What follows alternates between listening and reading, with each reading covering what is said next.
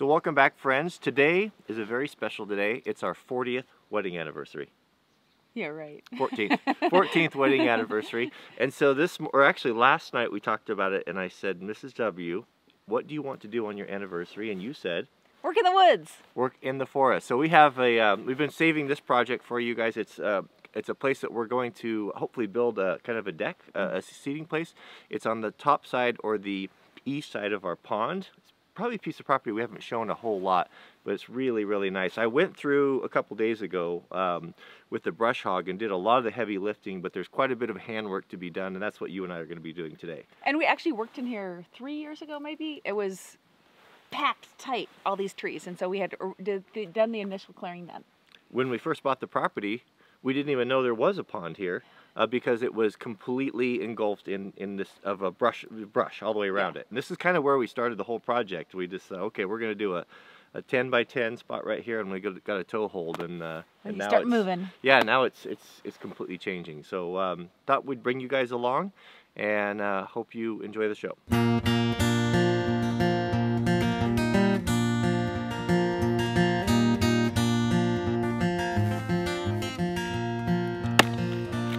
Wish you love and happiness. I guess I wish. I just up by that. You are the best.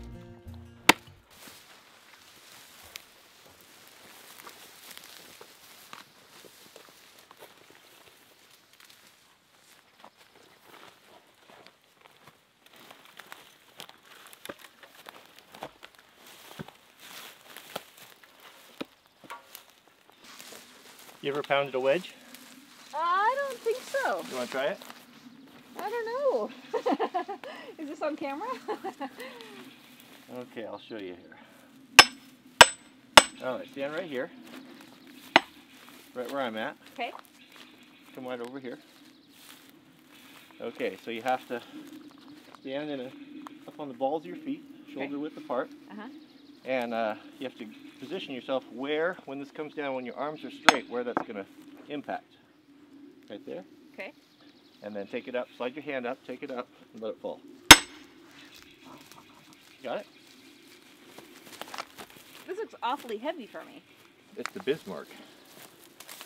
Both hands on the back, on the back, right there. That's where your arm's straight, where you're gonna, where you're gonna come down.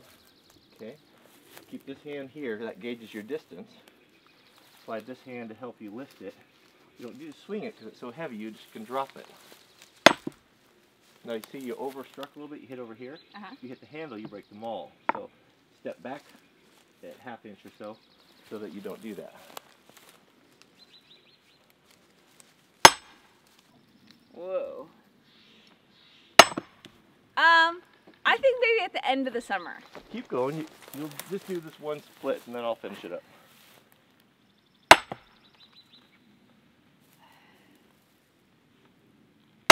It's good, really heavy. Good for your shoulders. You're almost there.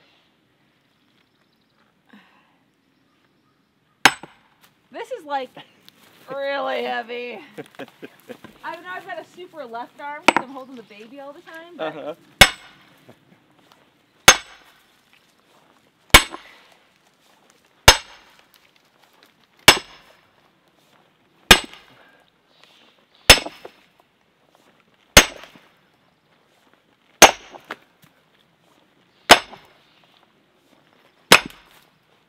You know why I didn't do very well? Why is that? Because I wanted you to look good on camera. You were just showing, you were just showing me showing me the girl power, right? That we all hear so much about.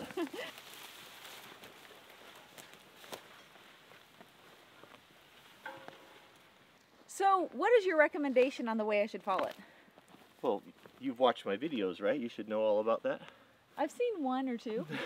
it doesn't matter. Literally, I've seen one or two. it's uh, it's leaning that way, so uh, you don't need to do a face cut. Just uh, cut it flush, okay. as close as you can. So when we come through here with the mower, uh, we don't hit it. So what I typically do is take your boots and knock a little bit down, come to the high side, give yourself room for your handle, and then just cut it right there. Don't put the saw in the dirt. Just come up, you know, three quarters of an inch or so.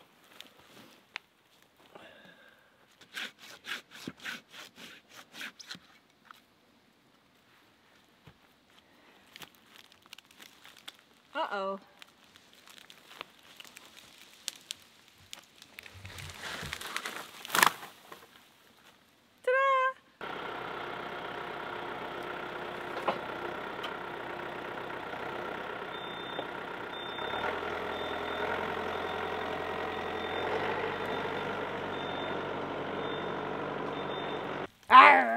Blackberry vines. I hate them. They're everywhere. Well, we're pretty lucky we don't have the Himalayan that they have down in the valley. These just kind of creep along the ground. They do, but it's bad when you're running and you've got short socks on or shorts on. Oh, And they like crawl up your legs and scrape you up.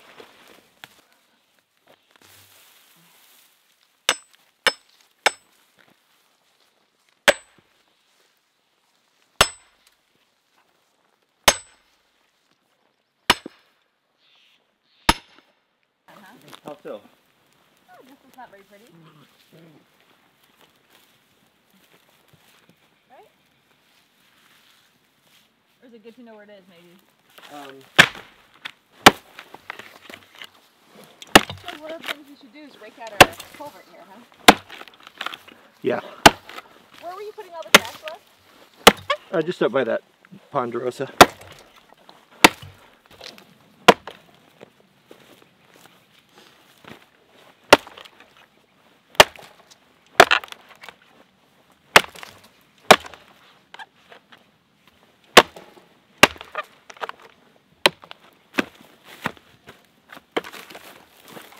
This this right here is uh, we have two overflows for the dam. In the winter, when the snow melts, the dam level will come way up, uh, and the main overflows over there. And then this is the emergency overflow, so we don't so it doesn't blow out the whole dam. So uh, you can see all of these logs and everything have kind of floated in here when overflow was. So we want to get the grass out of here, keep this out of here, so if if this is needed, that it doesn't get all plugged up.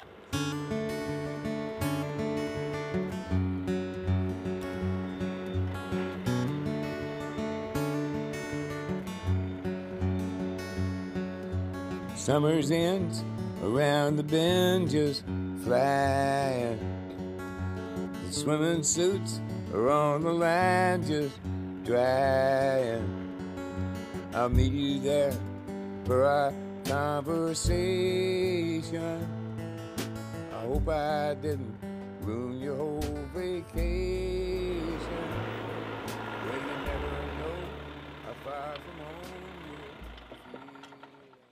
know, baby, that makes more of a mess than it. It does more harm than good. Yeah, that's what I'm saying. It's, uh, Okay, so you uh, you go get that one uh, right there, okay. um, and throw that in the burn pile, and then I'll rake this out real quick. Yeah, that's two uh, two quarts that rake.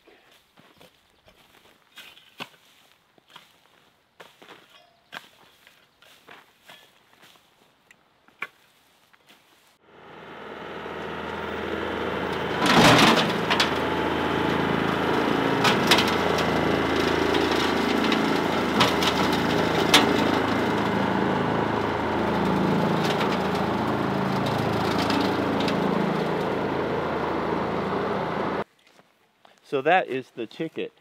Is that brush hog? it actually excavates. It takes the dirt and fills in the low spots. I mean, so what we're gonna do now? Um, I was using the brush rake and it was making more of a mess Yeah. than, than uh, we had before. So uh, we'll go along and we'll pick up all the big stuff and then I'll just back down and just bring that uh, brush hog over there and it, it, it kind of throws the dirt, levels it all out. It mulches everything. We don't have to pick up sticks anymore. It's uh, wonderful. Now we just need some, uh, what are you going to put in here? Grass seed? I'll probably get some native grass. Some seed. native grass seed, maybe Yeah. throw some wildflowers. I mean, there, there's grass here, but it's, it can always use a little help, right? Thanks for the coffee. So I, I went up, up to check on the kids, and Jack said, Oh, I made you guys some coffee. Happy anniversary. Best boy in the world, that one. Best boy in the world. We call it Jack Bucks. All right, well, I'm going to rake this out. So uh, you jump over. We're, we're making good time here. Yeah. You jump over and start doing the rest of the cutting. Sounds good. And then we'll get the fire started because we have to cook lunch on it. Yeah. Do you like how like I just keep taking layer after layer off?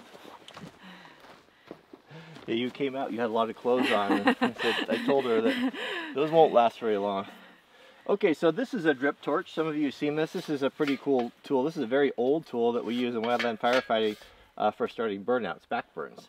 And it's a, essentially a container. Uh, it's got that old school Forest Service look to it, doesn't it? It's beautiful. They've been made made the same for for hundred years probably. Um, I feel pretty lucky to have one of these. Uh, but what's inside is a mix of 25% uh, gasoline and 75% diesel. And it's in its stored position now, so I'll show you how to how to set this up. This is uh, the little stoppers on a chain. This one's for storing it. This one is uh, for cutting it off when we're, when you're transporting it. That's where the the fuel comes out. And it's important when you take these off to to store the brass plug because it'll flop back and forth and impede the flow. Drain it out.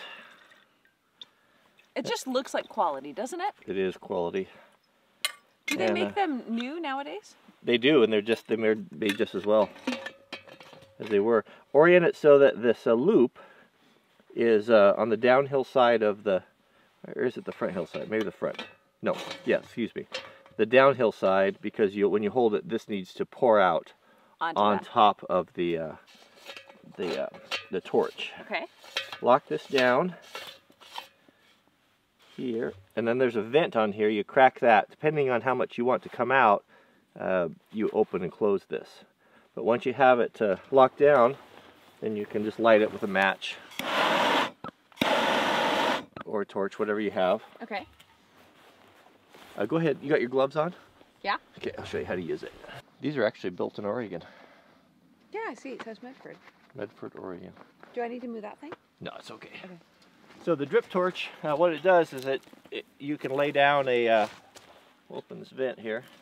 You can lay down a stream of fire doing burnouts, and you can see that the more you open this, the more it will come out. But uh, see how that just pours out on top of the, you pour it out on top of the flame there. Yep. So you can go along here and, and just get this green stuff lit up and uh, burning. Now I have a question. Yeah. How is this different than Girl Scout juice? Girl, that is Girl Scout juice. So why are you using it? Well, because we can't start back burns with flint and steel. takes too long. And how much do I put on? Until it's going good and hot. Okay. Uh, so this is just starting a fire for me, but most men I know love to do this kind of stuff. Why? What? Why? Yeah. To do what? To start fires? Yeah. Well, Like to me, this is a job. But men, I, most men really want to do this. So the fire department, whether it be wildland or structural, are just a bunch of pyromaniacs that don't have the courage to go to jail. Oh, So you It's, mean? uh, I don't know that courage is the right word. it's a it's a sanctioned arson, especially wildland. Because what you're paid to do uh, in the forest, you'd be uh, you'd be convicted and put in jail for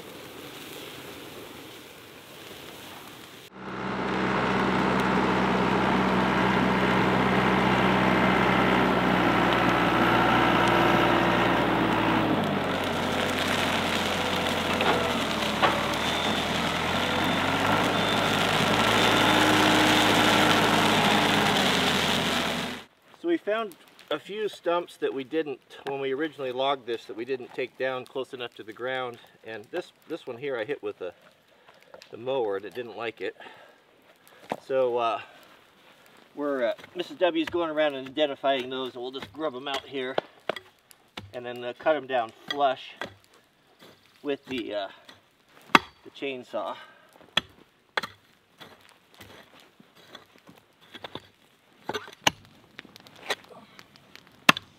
Worth it to take two, three minutes with the Pulaski and clear out around it.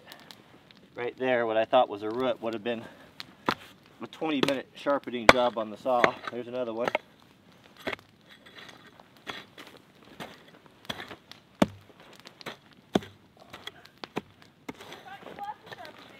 Oh, I, I like to sharpen, but not that much. Well, friends, that's all the time we have for today's show. But uh, Mrs. W and I, we had a had a really nice anniversary last night, and we're not super fancy people, and we don't have a need to.